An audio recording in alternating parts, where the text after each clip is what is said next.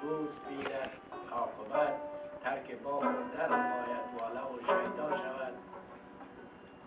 گر قبول درگهش افتد عینی عرض حال سروری گردد میسر چشم دل بینا شود.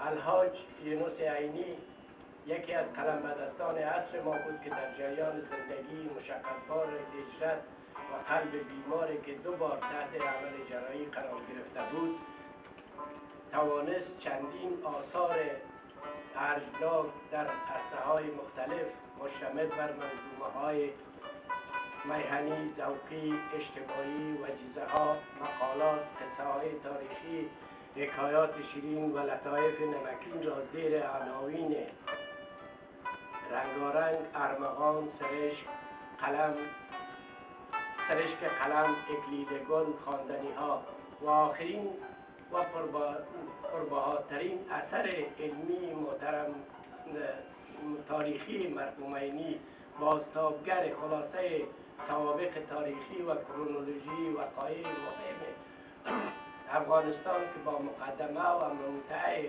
محترم محمد آصف آهنگ زینت یافته با فهرست و ماخذ آن تبع و به دسترس علاقمندان و قلمبدستان قرار داده شد. سرانجام مرحومینی میبخشید. در اثر مریضی که آید حالش بود بهار 1381 هجری شمسی یا 2002 میلادی چشم از دنیای فانی بربسته. عزیزان و فرنگیان خیش را سوگوار ساخت. گرچه که میبخشین نظر به شعر عینی که در, یک جای یک بیت گفته گفتار امان به که بسیار نباشد به سنجش طولانی و تکرار نباشد. گرچه گفتار من تکرار شده بود مگر بازم چون اینجا باید میخواندم تکرار نبودم. از زیادتر گفتار من بسیار میبخشین. خداوند روح عینی صاحب شاد داشته باشه و برای همه ما شما عرض تسلیت باشه